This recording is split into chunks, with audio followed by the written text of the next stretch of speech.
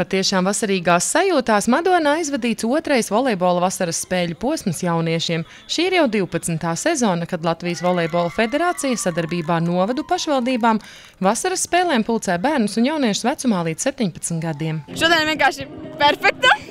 Un mēs ceram, ka mums arī veiksies labi, un mēs ļoti gribam, lai kāds no mums arī uzvar.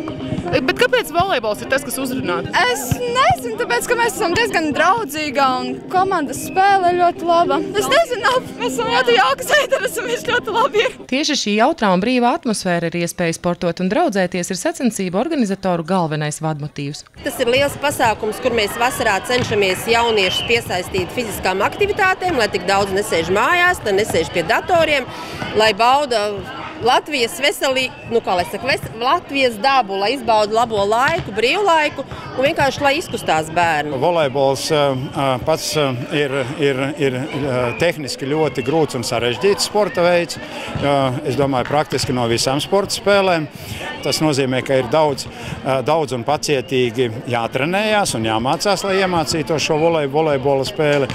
Bet noteikti tas ir tas, kas saliedē gan, gan, gan skolēnus komandās, māca šo komandas darbu, būt komandā.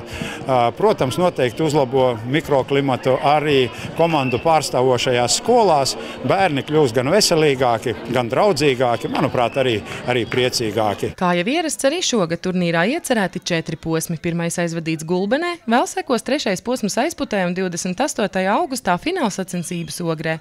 Diemžēl paredzētais turnīrs Kuldīgā izpalika. Pirmo reizi par 12 gadiem nācās Kuldīgas posmu atcelt, jo lietus lija, traumas būtu neizbēgamas un vienkārši nolēmām, ka tas nav vajadzīgs, jo bērni nav jāmoc, bērniem ir jārada prieks. Savukārt uz spēlēm Madonā, kur kā uzsver paši dalībnieki laikapstākļi Lutina dubultā, pulcējies patiešām ievērojams skaits komandu - 128. Tas ir daudz, ļoti daudz, godīgi sakot, un ir no ļoti daudzām vietām. Nu, tā ir Reizekne, tā ir Gulbene, tā ir Madona, tā ir Dagda, tā ir Krāslava, Sigulda, Rīga, Zvejnieks ciems, Cēsis.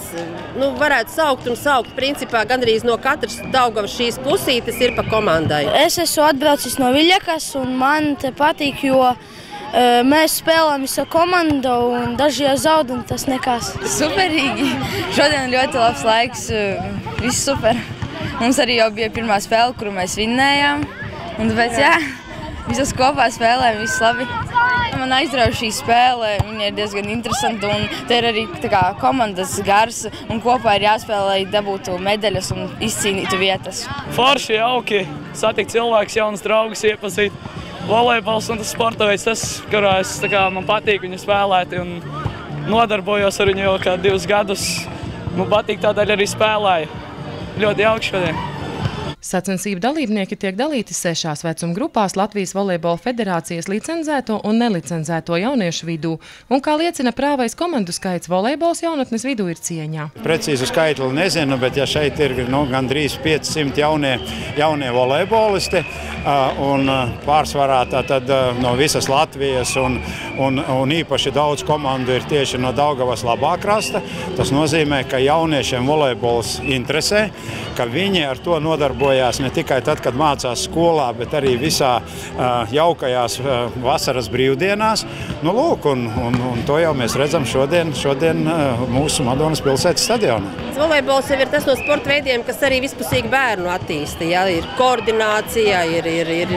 Un galvenais jau ir tas, ka tu atbrauc un redz, ka bērni ir smaidīgi, viņi ir priecīgi, viņi ir atkal satikuši draugus, jo ir jau tādi, kas vairākus gadus jau tiekās šeit. Ja? Un, un, un, nu, tad ir forša sajūta, un ja vēl laiks mūs lutina šogad, ja, tad ir vispār ideāli. Jau otro gadu viens no posmiem aizrit Madonā, un kā uzsver Latvijas volejbola federācijā, par īpašo aktivitāti šai pusē jāpateicas volejbola komandas Madona trenerim Guntim Lazdam, kurš pats savulaik bijis viens no aktīvistiem federācijā. Jā, tas ir um, daudzas un, un, un labas volejbola atmiņas ar, ar darbu Daugavpils specializētajā volejbola skolā, ar dažādām Latvijas jaunatnes izlasēm, ar Latvijas pieaugušo sieviešu izlasi piedaloties pasaules čempionāta, olimpiskā kvalifikācija un, un tā, jā. Ļoti patika pašam gan spēlēt, gan arī, gan arī trenēt. Un tagad iedvesmot tiek Madonas puses jaunieši un bērni. Es vēlētos, jā, lai, lai, lai iespējami daudz Madonas novada jaunie, jaunieši spēlētu volejbolu, un īstenībā tas jau pamatām, pamazām arī notiek. To apliecina arī fakts, ka krietna daļa sacensību dalībnieku ir tieši Madonas un apkārtējo novadu bērni un jaunieši, kas līdz ar citiem dalībniekiem šajā posmā cenšas izcīnīt brīvbiļetes uz 16. augustā Jūrmalā paredzēto Eiropas čempionātu pludmales volejbolā, kuru organizēšana Latvijai šogad uzticēta pirmo reizi.